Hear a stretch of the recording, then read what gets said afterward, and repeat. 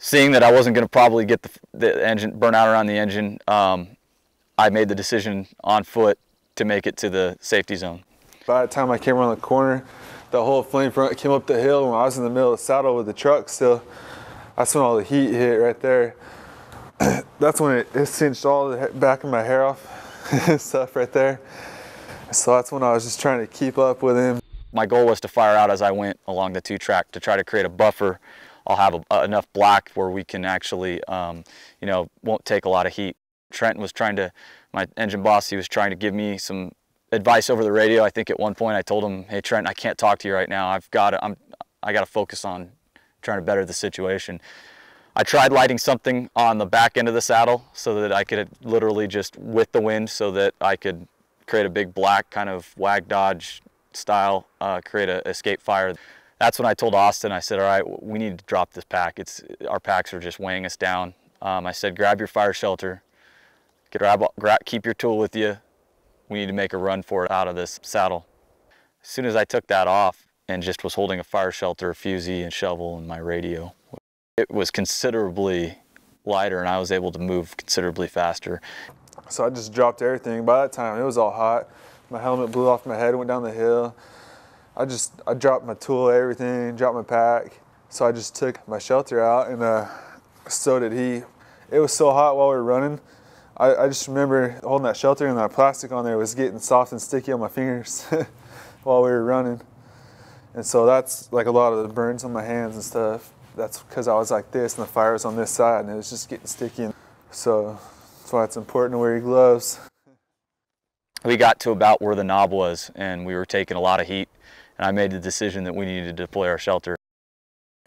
I called back to my engine to inform them that we had now got roughly six spots and we were going to come out. And at that point, the division in charge came over the radio as we were heading up to our engine that all units needed to get to their safety zones and disengage.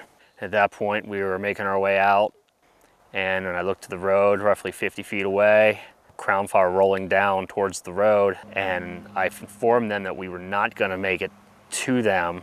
And we headed down to the two track to run out, and as we were headed out to the east, it was blowing across about four foot flame lengths across the two track that we weren't going to run through.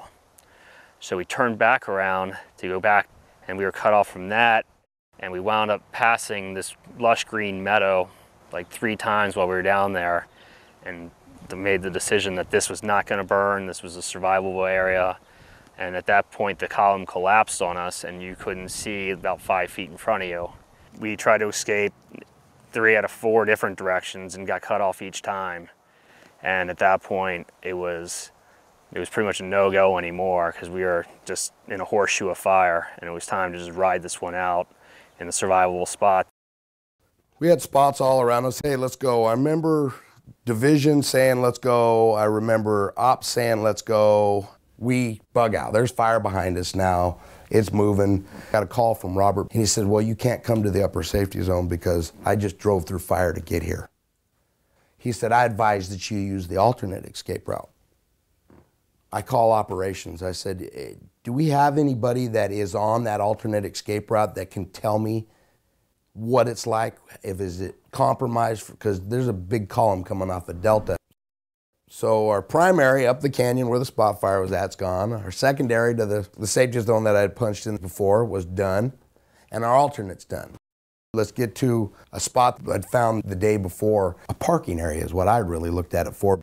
And old division got on the radar and says, well, I'm going to order up a Type 3 helicopter to fly in and land you because I, th I think you could land them there. And I, did told, I told him, no, you're not bringing a Type 3 in here because now we're going to have an aircraft mishap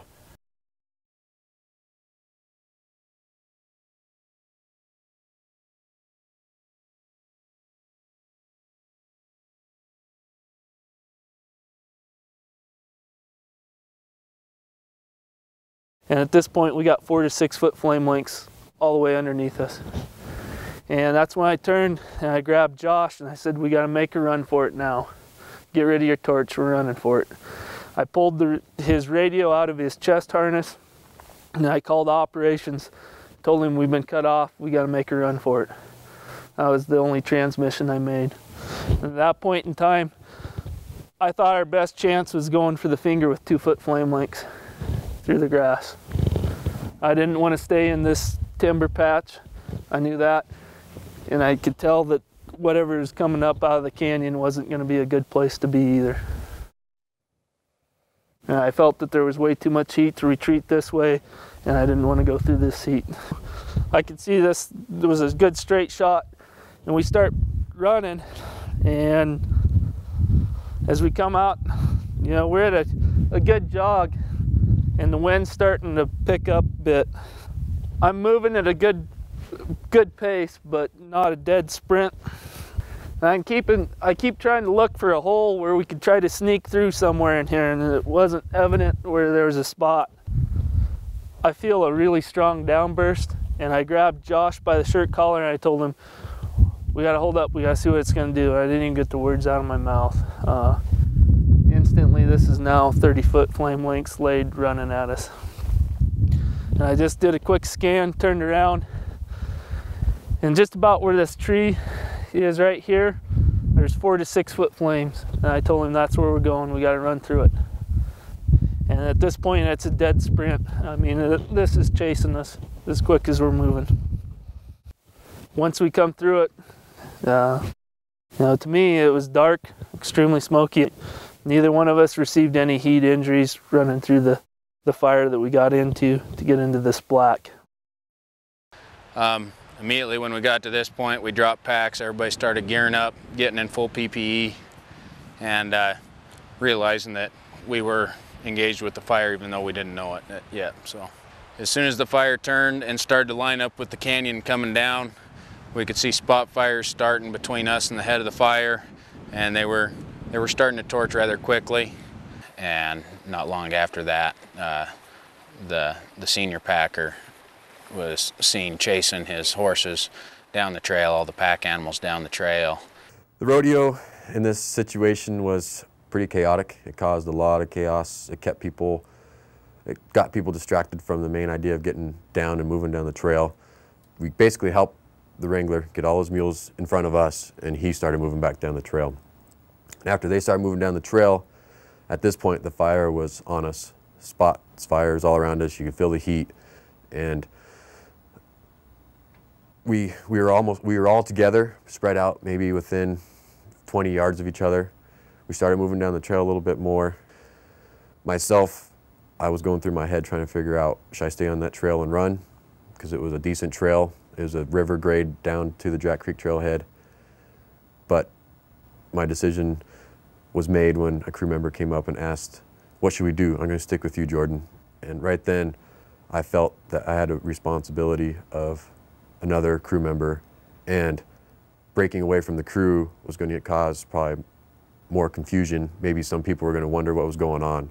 And so with that in my mind, I was thinking, I got to stay with the crew, try to keep everybody together, keep people less freaked out. As I'm running along, I'm kind of in the very back, all of a sudden I see a pack laying on the ground. And that's when it really starts to dawn on me that we're we're trapped and we're going to have to do something. Somebody else has already thought about it, that it's, it's time to find a deployment site. Um, at this point, we crossed the river because the fire was on our right side and the only cool place at this time was on the opposite side of the river. Started running down to the Anderson Creek Junction because we knew that was our last place that we saw a viable option. I remember um, it just getting really loud and calling for um, my, my supervisor, my, my operator, and uh, my crew members, hey, you know, get out, get out, let's get back to the pond, get back to the pond. But um, it just didn't seem like I was screaming. It seemed like I was talking very low. And the noise was just so loud, I, I couldn't um, hear myself. That's when I think I realized this is a little bit bigger than, than what I thought it was. Um, I looked around real quick to see if I could make a, a run for the, uh, the bridge and then realized, well, no, it's coming from that area and uh, realized, well, I need to make a decision on where I'm going to go because I, nobody's coming towards me, nobody's going towards the pond yet. And then I kind of felt everybody coming in the same direction. So I, I'm trying to run towards the pond and dragging my pack and pull out the, uh, the shelter at the same time, and, and I realized, well, I better do one thing at a time or so.